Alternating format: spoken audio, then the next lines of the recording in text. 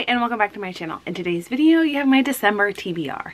Now I am filming this about four days before the end of November so there are several books that I plan to have read by the time that December rolls around.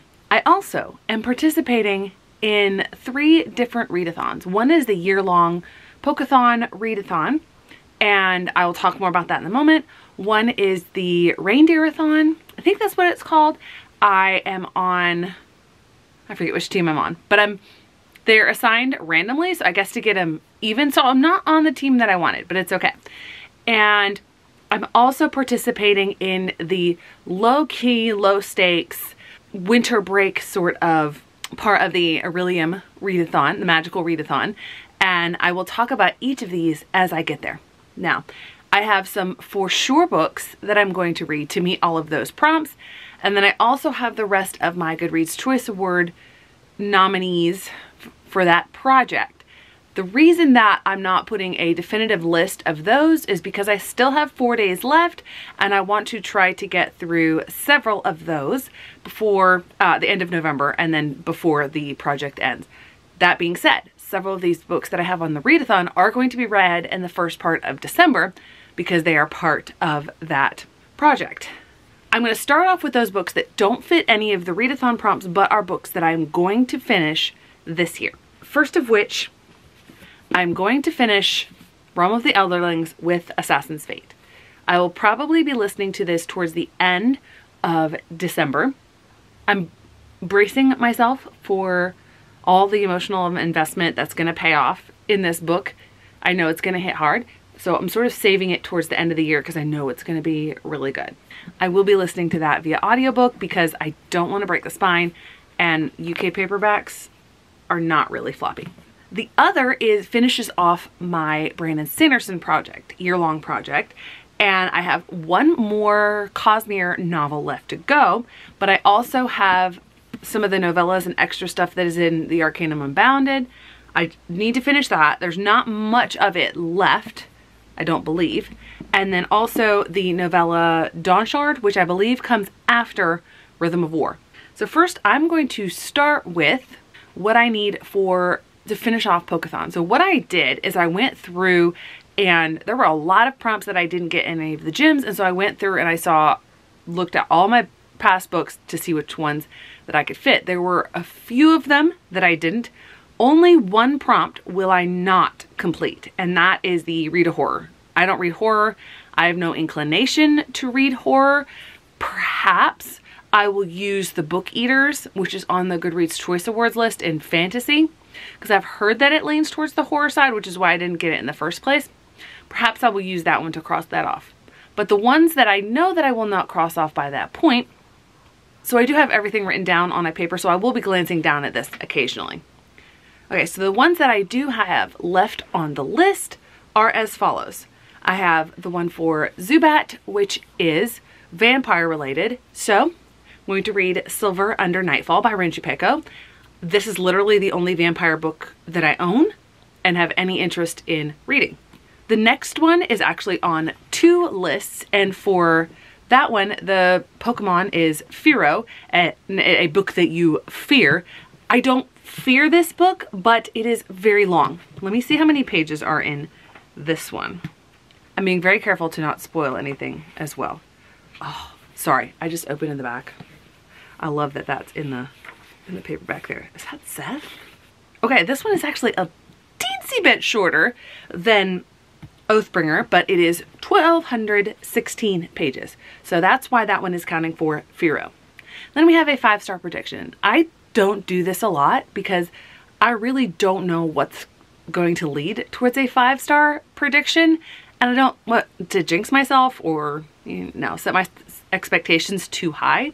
So for that one, I've chosen a book that it might not be a five star, but it also helps me complete a project and could potentially be a five star, especially with how the fifth book left off, and that is Bastille versus the Evil Librarians.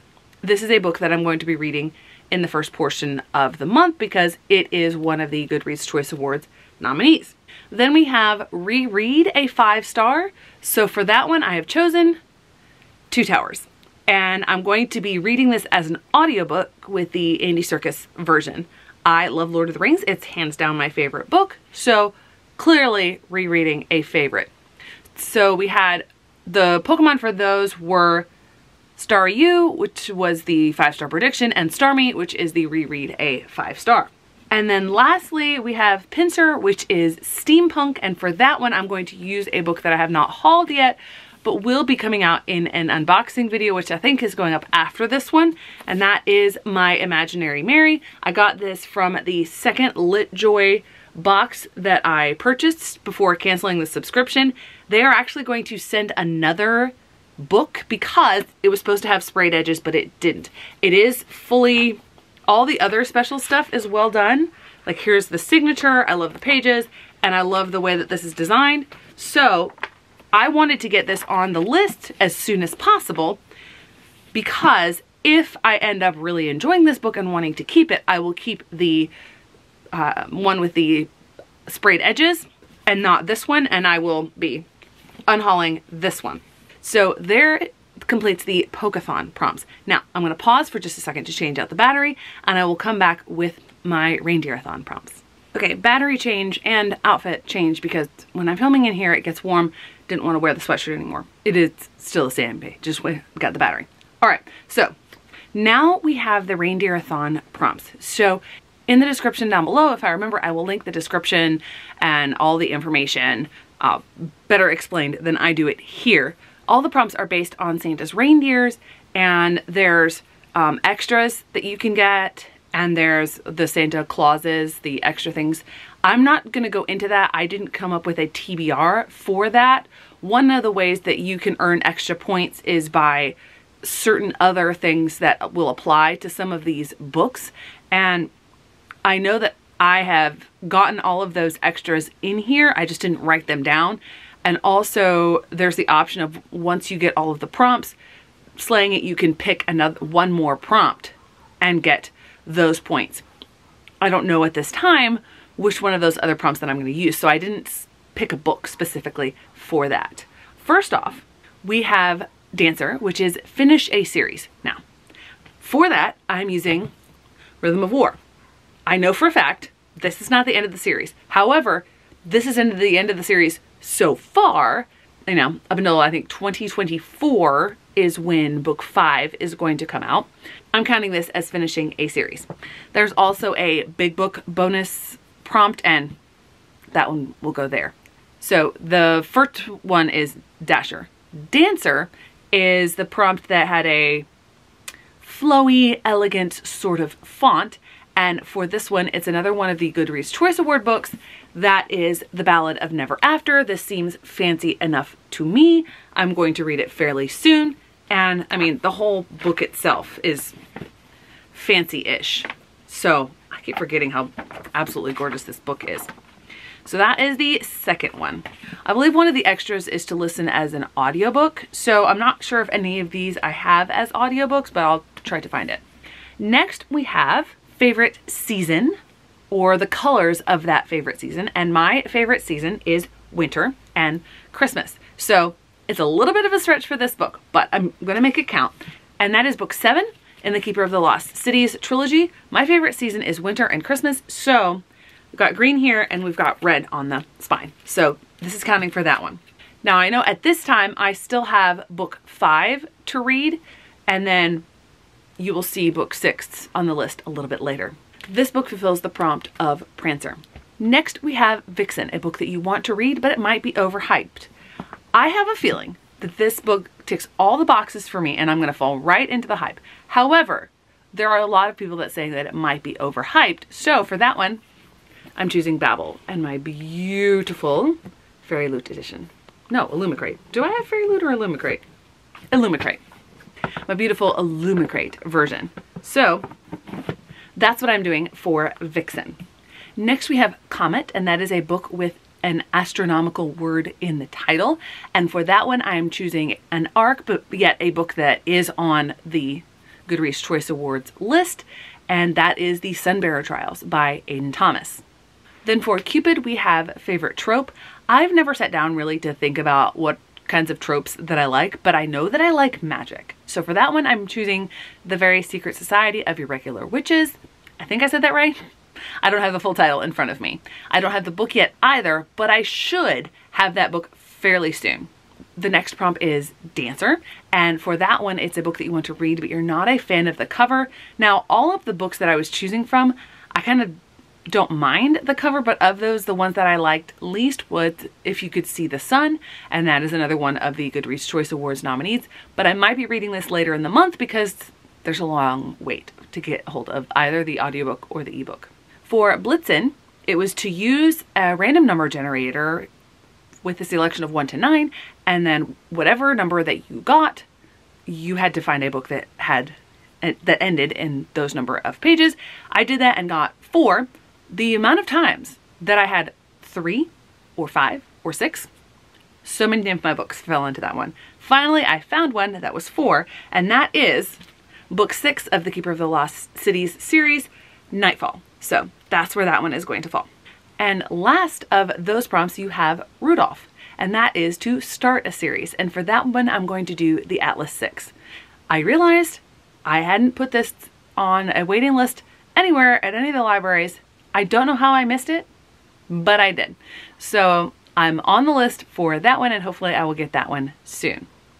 Okay, so the last of the readathons is the fairly low stakes, chill, old flavor pass winter version of the Orilium readathon. And that's the sweatshirt that I was wearing earlier. Now, the shop that I was most intrigued by is not a genre that I follow. So that's Mystery Thriller and I didn't want to stretch to do that one. So I'm doing two shops and the way that it works is each shop has a genre and one main prompt for that and then two extras for each of those. I have two books selected for each of these and all of them are ARCs or ebooks. So the first one is, let's see if I can say this straight the first time, Wallace's Wonderful Winter Wanimals. I don't think I'll have any of the uh, little logos or anything to put in here, but please go to G at Book Roast channel. She has an amazing video up about this. So for that one, the theme is fantasy. So I knew I would be doing this one. And the first one, it's just in that genre. The second prompt is animal on the cover. And then the third is a winter setting. So for the first one, I am choosing the Pearl Hunter, which is an arc that I have. And there is a snake on the cover, as you can see. And I'm doing that for the first one for fantasy and for animal on the cover. As far as a winter setting, I chose another arc that I have, and that is Come See the Fair. I believe this is fantasy, and I'm going to make it count, even if it's not fantasy, because it's been so long since I requested this.